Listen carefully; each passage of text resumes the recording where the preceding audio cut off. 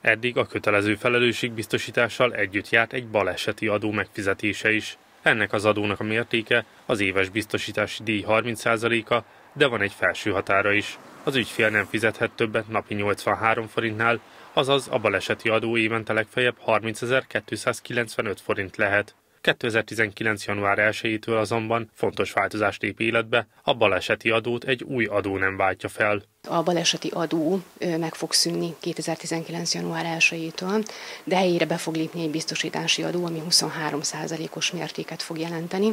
Ez már beleszépítve az ügyfeleknek a biztosítási díjába. Nagyon fontos változás, hogy nem január 1-től fog mindenkinek életbe lépni ez a változás, hanem ahogy a biztosítási szerződésének az évfordulója elérkezik, aki tehát mondjuk idén december 30-án vásárolna a gépjárművet és kötné meg aznap rá a kötelező felelősségbiztosítást, az jövőre egész évben az eddig érvényben lévő szabályok szerint a baleseti adót fizetné még. Akinek viszont 2019. január 1-ével vagy azt követően lejár a szerződése, már csak az új rendelkezéseknek megfelelően a biztosítási adót magában foglalva tud újra kötni vagy átszerződni másik biztosítóhoz. Változás az is, hogy a biztosítási adót az eddigiekkel ellentétben nem a díjon felül kell megfizetni, hanem a biztosítóknak kell befizetniük a költségvetésbe. Viszont ezt a társaságok akár átháríthatják ügyfeleikre.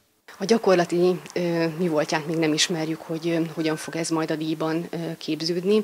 Valószínű, hogy áremelkedés fog jelentkezni majd a biztosítási díjakban, hiszen ugye nagyon sok a károknak a száma is, és valahogy ugye ezeket a károkat is rendeznie kell a biztosító társaságoknak. A változó adónemek esetében érdemes odafigyelni arra is, hogyha egy társaságnál több különböző biztosítása is van az ügyfélnek, akkor kedvezőbb díjat érhet el de az is elképzelhető, hogy egy másik biztosító más paraméterek mentén egy magasabb vagy egy alacsonyabb díjat határoz meg, viszont ennek buktatói is lehetnek, ugyanis a biztosítók többsége úgynevezett együttbiztosítási kedvezményt alkalmaz, ami a kötelező díját, a kaszkóját és a lakásbiztosítását is érintheti.